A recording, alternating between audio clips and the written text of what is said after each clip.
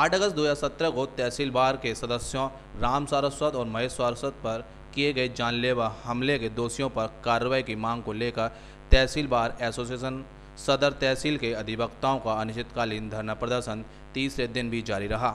अधिवक्ताओं ने न्याय की मांग को लेकर उप निबंधन कार्यालय पर तालाबंदी कर पुलिस और प्रशासन की कार्यशैली की निंदा की। साथ ही भाजपा प्रदेश सरकार में सपा और बसपा से ज़्यादा अराजकता और पुलिस की तानाशाही बताया।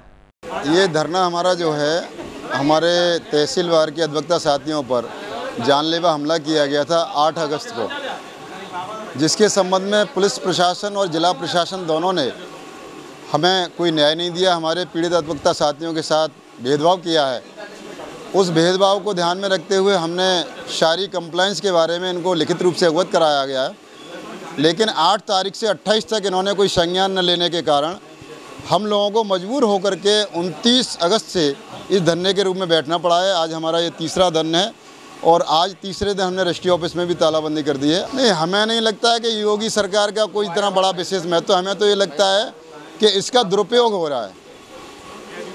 क्योंकि समाज में अधिवक्ता प्रबुद्ध वर्ग में आता है और अधिवक्ता पक्ष के साथ अगर प्रशासनिक और पुलिस इस तरह के भेदभावपूर्ण कार्रवाई करेंगे गलत तरीके से मुकदमा दाखिल किया जा रहा है।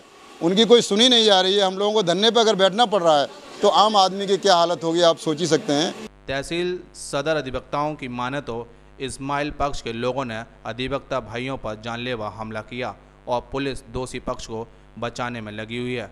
भाजपा रूपी रामराज्य में लगातार विशेष समुदाय की बढ़ती दबंगाई अन्य समाज के लिए घातक हो रही है और अधिवक्ताओं का आरोप है कि पुलिस जानबूझकर हिंदुओं पर उत्पीड़न करा रही है। जो चीज़ हम लोग आ रहे थे सपा बसपा के कार्यकाल में देखते हुए आ रहे हैं, हमने बहुत उम्मीद से हमने बीजेपी को वोट दिया था। हमने सोचा था कि ये हमारे श्री राम का ये श्री हमारे राम जी का ये नया जन्म हुआ है और ये हमने ये देखा कि इसमें हमारी सुनवाई होगी। मगर जैसा कि हमारा सपा बसपा में हो रहा था वही चीज़ हमारे साथ दोबारा काम हो रहा है। ये मुसलमान पीड़ित लोग ये मुसलमान हम लोगों को इतना हम लोगों को ये लोग ये लोग दबा रहे हैं। हम लोग इन लोगों से इतने ज़्यादा पीड़ित हो चुके हैं कि हमारी कोई सुनवाई नहीं हो रही है।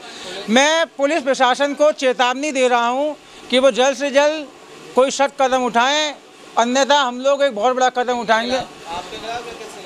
उन पीड़ित हम हम लोग तो पीड़ित हैं।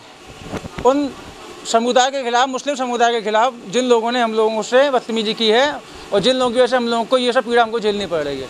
अधिवक्ताओं का साफ़ कहना है कि पुलिस जब तक अधिवक्ताओं राम सारस्वत और महेश सारस्वत के दोषियों पर कानूनी कार्रवाई नहीं करती, तब तक धरना प्रदर्शन अनवरत चलता रहेगा। सेवन न्यूज़ के लिए कैमरा पर्सन भगवान सिंह के साथ गीतम सिंह की रिपोर्ट।